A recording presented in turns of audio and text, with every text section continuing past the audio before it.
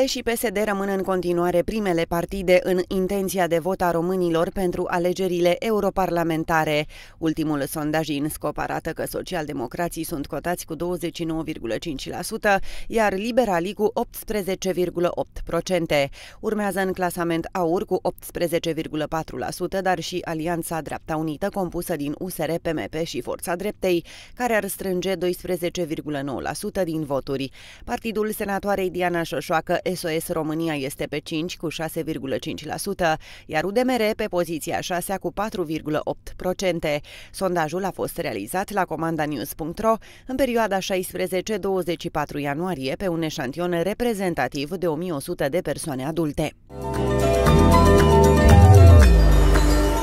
Și tot ministrul Sănătății a lansat un nou apel pentru vaccinarea anti-rujeolă. Alexandru Rafila a spus aseară la TVR Info că numărul cazurilor crește în continuare, dar că se înregistrează și decese care ar putea fi evitate. E foarte important să ne vaccinăm copiii și o să încerc să vă explic de ce, pentru că lumea câteodată nu înțelege. Dacă noi ne vaccinăm copiii așa cum trebuie, uh, riscul de a face rujeolă e foarte mic. Dacă există însă un număr semnificativ de copii nevaccinați. La noi, să zicem, uh, variază, pentru că la doza întâi avem în jur de 80% dintre copii vaccinați, la doua, doza a doua 65%. Înseamnă că sunt cohorte mari de copii nevaccinați. Și atunci, în loc să faci rujeolă, să spunem, uh, să nu faci rujeolă, dacă ești vaccinat, faci rujeolă, dar nu știi la ce vârstă faci. Și faci la o vârstă mai mare. Și faci la 13 ani, la 14 ani, la 18 ani. Cu cât avansezi în vârstă, forma de rujeolă e mai gravă. Astăzi am avut, din păcate, un deces la o femeie de 24 de ani, nevaccinată și cu altă problemă de sănătate, care n-ar fi contraindicată în mod normal vaccinarea,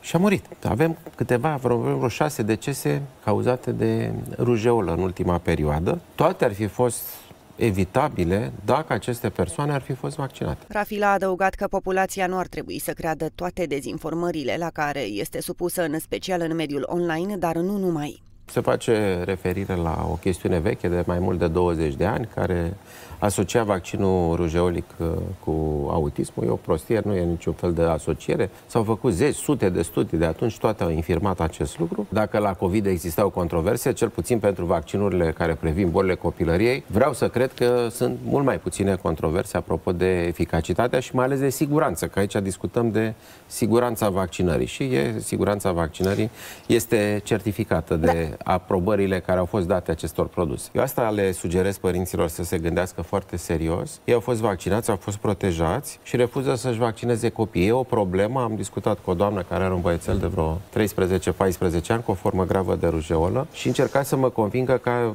câteva argumente de ce nu l-a vaccinat. Nu m-a convins uh, ea fusese vaccinată și n-a avut această problemă. Gândiți-vă că înainte de apariția acestui uh, vaccin, uh, rujeolic, în fiecare an în lume mureau 700 de mii de copii. 700 de mii de copii. Ultimul bilanț al Institutului Național de Sănătate Publică anunță peste 3700 de cazuri de rujeolă. Aproape jumătate din numărul total de cazuri au fost confirmate în județele Brașov și Mureș. România este în plin val de viroze respiratorii. Ministrul Sănătății atrage atenția că suntem în a treia săptămână de creștere consecutivă a cazurilor de gripă.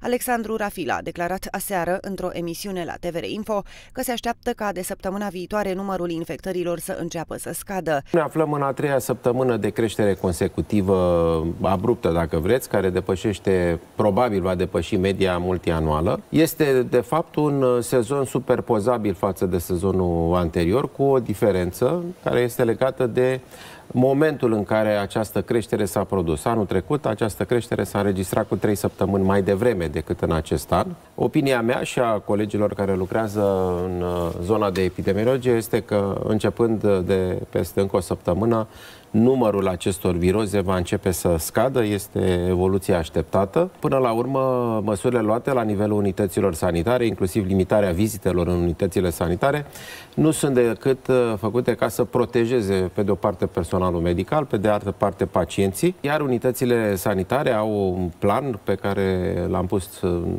funcțiune, dacă vreți, încă din timpul pandemiei COVID, încât pacienții cu viroze respiratorii să fie separați, dacă se poate, grupați și separați de restul celorlalți pacienți. Alexandru Rafila a adăugat că nu există probleme cu stocurile de medicamente antitermice din farmacii, dar a făcut apel în continuare la vaccinare. Nu avem semne de la nivelul uh, rețelei farmaceutice care exista, uh, monitorizăm și consumul și uh, eventualele medicamente lipsă, nu avem semne că ar exista produse antitermice sau antiinflamatorii care să lipsească din farmacii, iar problema legată de antibiotice, în mod evident, nu are legătură cu virozele respiratorii. În viroze respiratorii nu se administrează antibiotice decât dacă există situații în care apar suprainfecții bacteriene și atunci trebuie ca acest lucru să se producă țintit. Și în acest an s-au depășit un milion de doze care au fost administrate uh, compensat sau gratuit în cadrul uh, programului susținut de Ministerul Sănătății, dar de data aceasta uh, banii au fost transferați la Casa de Asigurări de Sănătate, încât vaccinurile sunt compensate.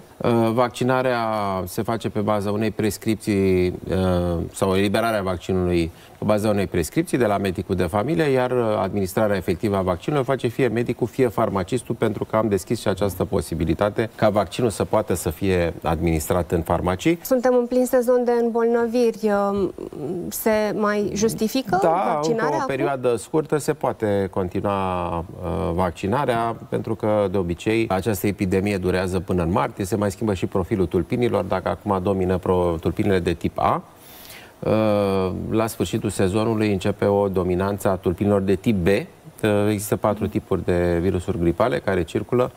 Uh, iar uh, antigenele, structurile care determină imunitate din uh, toate aceste patru virusuri se găsesc, se regăsesc în vaccinurile care sunt disponibile pe piață. Liderii partidului extremist Aur continuă șirul declarațiilor controversate. Recent, Ucraina a reacționat după ultimul discurs revizionist al lui Claudiu Târziu. O consilieră din Ministerul de Interne de la Kiev și-a arătat îngrijorarea cu privire la discursul lui Târziu, care a vorbit din nou despre cum România ar trebui să anexeze teritoriile care au aparținut cândva țării și care acum fac parte din Ucraina și Republica Moldova. Afirmațiile controversate ale lui Târziu contravin nu doar interesului național al României, României, care a semnat tratate de bună vecinătate cu toți vecinii săi, ca precondiție pentru a fi membră în NATO și UE, ci și principiilor dreptului internațional. Mai mult, astfel de declarații pot destabiliza relațiile diplomatice dintre țări, iar imaginea României în plan internațional poate fi afectată negativ, scrie pe senius.ro. De altfel, și rectorul SNSPA a criticat recent activitatea AUR. Remus Pricopie le-a cerut parlamentarilor să facă o comisie specială care să analizeze rețelele rețelele de agenții străini care au ca obiectiv destabilizarea țării și influențarea alegerilor.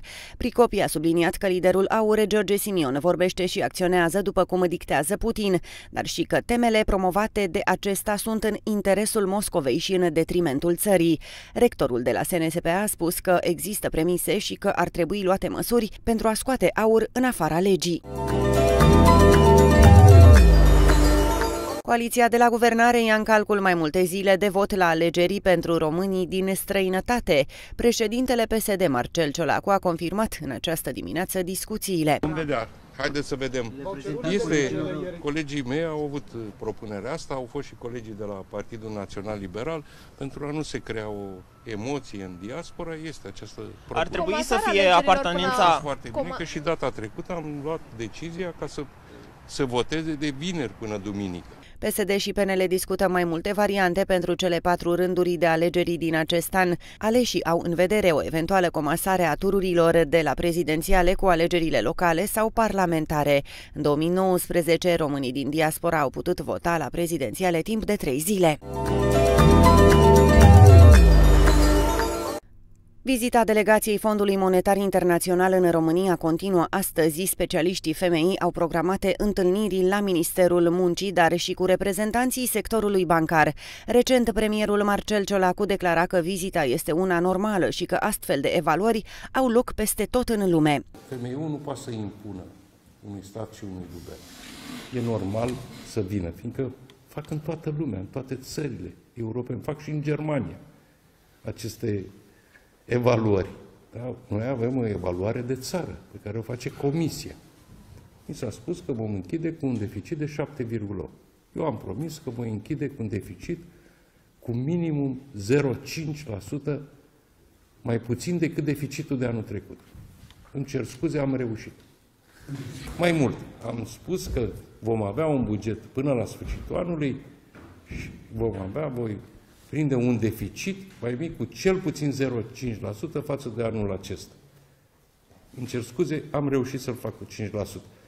Hai vedem și prima execuție pe primul trimestru ca să fiu și mai, mai determinat. S-au luat anumite măsuri și s-au luat anumite măsuri în primul și în primul rând pentru că ele au fost trecute în PNRR. Ele sunt trecute în jalonul 206, care este în cererea de plată numărul 3 și deja au venit anumite semne de întrebare și am mai anunțat public că este o problemă cu jalonul 206 cu micro-întreprinderile, fiindcă Comisia încă consideră că nu am luat toate măsurile pentru a închide această, această zonă unde ei consideră că este o impozitare mult prea lejeră pentru o țară de mărimea României. De obicei, cel sistem de impozitare se face în zona de offshore. Sper să am capacitatea, cum am avut și până acum, să merg la comisie să explică atâta poate suporta România în acest moment. Totuși, analistul financiar Adrian Negrescu a declarat în emisiunea Puterea Știrilor cu Marinela Angheluș că FMI ar putea să pună la dispoziția guvernului un nou împrumut.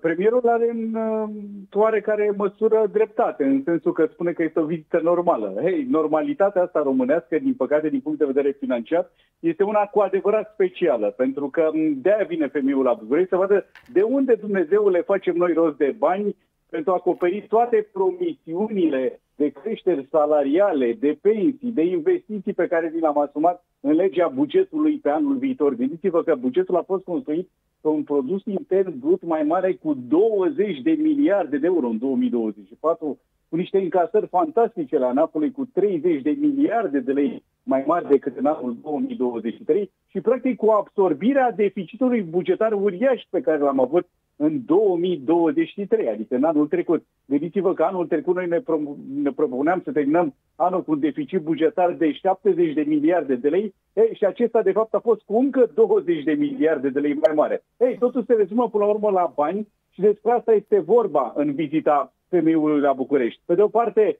vor analiza modalitățile prin care statul și, uh, va încerca să-și atragă mai mulți bani la buget din taxe și impozite, iar pe de altă parte este posibil să se le pună la dispoziție o linie de finanțare, un colac de salvare în cazul în care, de exemplu, autoritățile nu vor reuși să-și um, realizeze toate veniturile propuse. Mă uitam la venituri 586 de miliarde de lei, estimare de, de încasări, practic, în, în anul viitor și cheltuieli de 672 de miliarde de lei. Sperăm ca um, schema financiară pe care guvernul o propune pentru 2024 să devină realitate, pentru că altfel, din păcate, vom ajunge la mâna femeii. Anul trecut am împrumutat 40 de miliarde de euro în piețele externe, anul ăsta împrumutăm 38 de miliarde de euro, s-ar putea să nu fie de ajuns în condițiile în care numai cheltuielile cu pensiile, deci este un plus de vreo 20 de miliarde de lei. Vizita delegației femeii în România se va încheia joi când sunt programate întâlniri la guvern. Protestele fermierilor din Franța continuă. Principalele artere de intrare în Paris sunt blocate de agricultori. Peste 10.000 de fermieri cu 5.000 de utilaje protestează pe autostrăzile din jurul capitalei Franței. Chiar dacă guvernul din Hexagon a renunțat la o serie de măsuri, între care și reducerea treptată a subvențiilor pentru motorină, fermierii spun că nu este suficient. Autoritățile au promis astăzi o nouă zi de discuții pentru a găsi și alte soluții. Joi, președintele Emmanuel Macron are programată o întâlnire cu șefa Comisiei Europene Ursula von der Leyen pentru a discuta despre criza din agricultură și măsurile de sprijin pe care fermierii le cer la nivelul Uniunii. Între timp, rămâne în vigoare avertizarea de călătorie emisă de Ministerul Român de Externe. Debut cu dreptul pentru Adrian Mutu pe banca tehnică a celor de la CFR. Clujenii au învins-o categorică seară cu 4 la 1 pe FC Voluntari.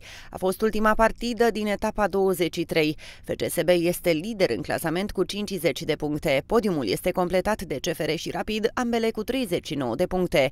Etapa 24 începe vineri.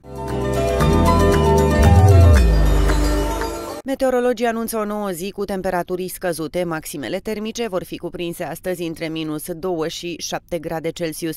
Cerul va fi variabil în jumătatea sudică a țării și mai mult senin în restul regiunilor. Vântul va sufla ceva mai tare în zona litoralului. În capitală, cerul va fi mai mult senin pe parcursul zilei, iar temperatura maximă va fi de 4-6 grade Celsius.